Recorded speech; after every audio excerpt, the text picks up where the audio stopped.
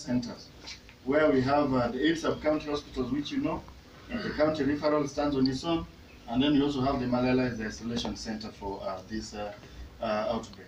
So we have different items. They've been grouped, they've been uh, listed uh, for every sub-county to ensure that at least no one is left behind.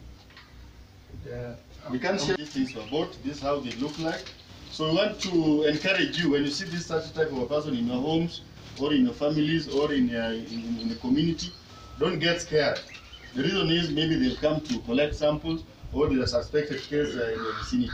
So please, we are the community and the public, don't get scared. So those will come to the public or to your house will look like this. So the PPE, first of all, is meant for number one, the front uh, line healthcare workers. Number two, the people who are going to collect samples where a suspected case is.